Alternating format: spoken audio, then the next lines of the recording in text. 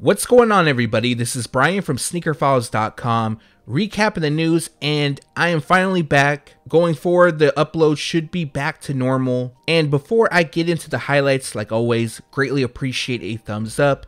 And if you're new here, make sure to subscribe by hitting the red button below. Now, as for some of the highlights in this video, we have a first look at the A Ma Maniere Air Jordan 3 collaboration, as well as new release dates for several Air Jordans. Now, most of this video will be from Jordan brand, however, there is a small amount from Nike. And now, without wasting too much more of your time, let's jump into the news. The Nike Kobe 6 Protro All-Star was originally scheduled to debut on February 20th. However, that doesn't look like it's going to be the case, and sadly, the release date has been pushed back. And now the new rumored release date is for March 6th, that's in Europe, and then March 8th in North America. The retail price will be 180. We have another colorway of the Nike Air Total Max Uptempo set to release. Well, I shouldn't say set to release because we don't have a release date, but this is the Midnight Navy pair, which last launched in 2009. So the pair comes dressed in a white and midnight navy colorway. While utilizing white leather throughout,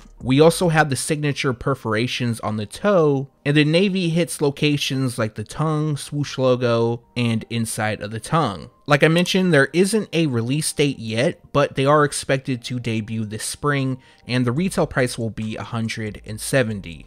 We now have new images of the Nike Air Max 90 Bacon. Now these photos come from GOAT, so they're more like product images. And other than the new photos, there really isn't much new information. They are still expected to debut sometime this March and they will celebrate Air Max Day and the retail price will be 140. This pair along with another one I'm about to showcase are probably the top two releases. However, I'm sure that Nike has more in store for the month.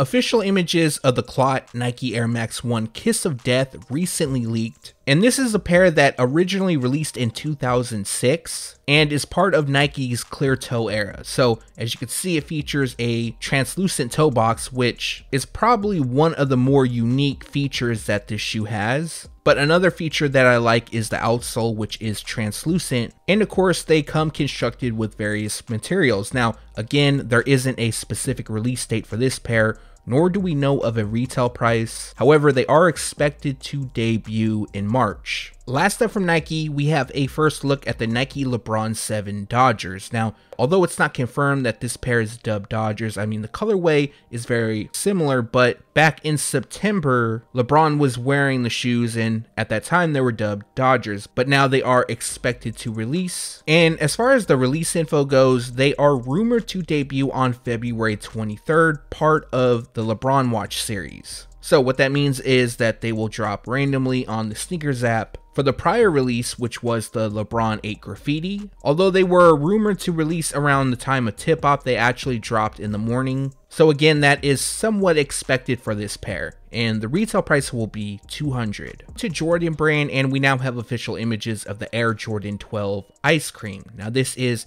a kids exclusive, and the nickname comes from the texture that's used across the upper, and the pair comes dressed in a white Arctic Punch in hyper pink colorway. Now for the release date, this pair is scheduled to debut on March 1st. The retail price will be 140 for grade school, 90 for preschool, and 60 for toddler sizing. Coming soon, Aleali May will have another collaboration with Jordan Brand, and this time it'll be on the Air Jordan 1 Zoom Comfort. Now the pair comes dressed in mostly green and royal blue, and utilizes different materials like leather, nylon, and satin. It also features a cutout swoosh on the panels that showcases green. On the tongue we have a circular A and her signature lands on the heel. Lastly we have beige on the midsole, while green and yellow run across the outsole. At the time of shooting this video, we don't have a scheduled release date for the pair, nor do we know of a retail price, but like always, more information coming soon. While I took a brief hiatus from shooting videos, images leaked of the Air Jordan 12 Low Easter. Now, I'm not gonna lie, I'm not a fan of the shoe. However, I've seen about a 50-50 split, and to go over the pair, they feature white leather on the upper that also lands on the mudguard with the traditional textured finish. Iridescent lands on the top eyelets, as well as the branding on the side, and then we have a Jumpman on the tongue in white, which also hits the laces. Black also hits some of the branding on the heel, and then finishing the look is a translucent outsole, which has the Jumpman done in aqua. Currently, this pair is scheduled to release on April 3rd, and the retail price will be 200 Let me know your thoughts on this pair in the comment section below. For me, I am definitely passing. We have a possible release date for the Air Jordan 1 High OG Fresh Mint. Now, the release date is approaching, so it's possible that this date could be pushed back, which shouldn't come as any surprise because most Jordans, as well as Nikes, the release date has been pushed back quite a bit. So, as of now, this pair is scheduled to debut on March 13th, and the retail price will be 170. This pair has grown on me quite a bit, but like always, let me know your thoughts down below. What was once supposed to release for March Madness, the Air Jordan 4 University Blue will no longer release in March. The release date for this pair has moved around quite a bit, but now the new release date is April 28th. I know there's a lot of people that are waiting for this drop, so definitely unfortunate news. However, this isn't quite new information. I'm sure if you guys visit sneakerfiles.com or any Instagram pages or even other websites, you would have seen this update. But if you missed out, the new date is April 28th, and the retail price will be 225 have a new updated Photoshop for the Air Jordan 6 Gold Hoops. Now, according to Z Sneakerhead Z and his sources, this is how the pair will look. Now, there might be a few changes here and there, but for the most part, this is something that you can expect. Now, comparing to the previous mockup, the metallic gold has been removed from the midsole. We also have some speckle detailing on the outsole that comes up to the midsole, and the pink on the panels that has been removed, and now it's a cream type hue. Also, they are expected to feature a hoop hang tag, possibly something similar to what's shown. And like the name suggests, the inspiration is from gold hoop earrings. And now for the release info, this pair will be available in women's sizing on July 1st unless a release date gets pushed back. The retail price will be 190. Months and months back, I leaked that the Air Jordan 11 Low Bright Citrus or just Citrus would be returning in 2021. At that time, we didn't have images of the shoe, but recently official images leaked, which also gives us our first look. Now, everything looks on point compared to the original release, which took place back in 2001. Also, the pair last dropped in 2015. However, it was a girls exclusive and only went up to a 9.5Y. Now the difference here for 2021, the model will be available in women's sizing. I remember back in the early 2000s and then later on, this is one of those shoes that were sought after by OG collectors. And to me, this is a good thing that they're coming back. It will give some people the chance to purchase with a larger size foot. And currently, the release date is May 6th and the retail price will be 185 a small release date change for the Air Jordan 13 Red Flint. Now, this isn't as big as the Air Jordan 4 University Blue, but the Red Flint Air Jordan 13 was originally expected to debut on May 1st, and now the new release date is May 8th. The retail price will be 190.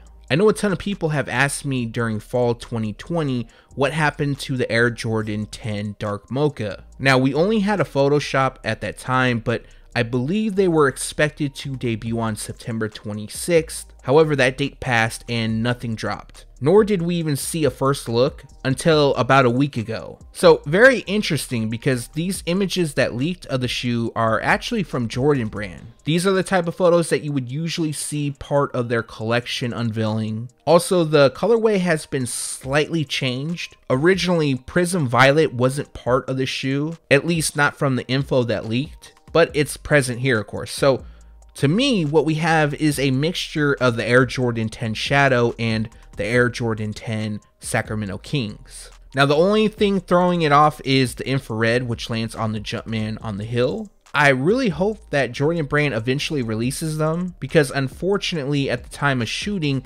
there isn't any details if or when they're going to drop. However, like always, once more information is available, I'll make sure to let you guys know. Also, let me know your thoughts on this pair in the comment section below. Do you think Jordan Brand should just go ahead and release them? Official images of the Air Jordan 1 High OG Shadow 2.0 leaked. However, it shows us the kid sizing. So obviously that's good news for those that wear grade school sizing. And that's pretty much it. I just wanted to showcase the official images, but to keep you guys on the up and up if you don't know or maybe you forgot, this pair will debut on May 15th and the retail price will be 170. Official images also recently leaked of the Air Jordan 1 High OG Court Purple. This also gives us our first look, and they are close to the original metallic purple. However, there is differences, of course. And to go over the shoes, they feature white leather across the upper, and then we have purple satin on the liner. Next, we have purple patent leather on the swoosh, ankle, and then purple on the wings logo. Other details includes a white midsole and a purple rubber outsole. Other than that, the shape is slightly different, and that's just due to it being a women's release. And they will drop in women's preschool and toddler sizing, which will take place on June 3rd. It's very possible that the date could be pushed back, and the retail price will be 170. Now, I really hope that this pair drops in extended women's sizing. Hopefully, we get more information on that soon. To be honest with you guys, I was reluctant to share this just because it's only a preview. Now, this preview has been floating around for some time now, and I would have thought that we would see a first full look. But nope, that is not the case, and this is just a preview of the Air Jordan 1 High OG Pollen. Now, I'm also going to include a Photoshop which represents what the release will look like, just so you have an idea. Because obviously, this preview doesn't show much, but one thing is for sure that when they do release this pair is going to do very, very well. There's a ton of hype just based off the mock-up. And the good news is that they will release in full family sizing. Typically, when Jordan Brand does release a shoe in full family sizing, it's more on the GR side. Now, that doesn't guarantee you a pair by any means, but it might be slightly easier to obtain. Now, at the time of shooting this video, the release date is August 21st. Very possible that the release date could be pushed back and the retail price will be 170. Last up for today, we have a first look at the A Ma Air Jordan 3 collaboration. Now, to go over the pair, they feature a white, medium gray, and violet ore colorway, and I think that the overall look that they were going for is vintage. As you can see on the top eyelets as well as part of the midsole, it's yellowed, giving it an aged look. We also have gray suede which wraps the toe and heel and lands on the eye stay. And then we have a quilted liner and a little bit of violet which wraps part of the midsole. Lastly, we have co-branding on the tongues. So A Ma was the one to unveil the shoes, however, they didn't give a ton of information. What we do know now is that they will drop this spring. They'll be available at A Ma Maniére's website, as well as their Atlanta, Houston, and Washington, D.C. locations. The retail price for adult sizing is 200 and kids will cost 90. Also, this is a women's release. I'm unsure if they'll be available in extended women's sizing, but more information should be available very, very soon, so expect another update. And like always, let me know your thoughts in the comment section below. And that recaps the news. Like always, we post it first on sneakerfiles.com and then we take it to YouTube. Like always, I appreciate you guys for watching. Let me know if you have any questions or comments below. Also, for the next upload, it should be the Air Jordan 1 High OG University Blue. The review that is, I'm not really big on calling it a review, but expect that to come either tomorrow or the next day. My apologies for the no uploads. I was on a really great streak and then I wanted to set up my office area to be able to take videos of these shoes. Unfortunately, it's been a lot harder than I expected, but I'm pretty sure that I have everything ironed out, so moving forward, we should be good to go. Now, if you haven't done so already, greatly appreciate a thumbs up, and if you're new here, make sure to subscribe by hitting the red button below. Again, thanks for watching, stay tuned to sneakerfiles.com, and if you haven't yet, make sure to subscribe.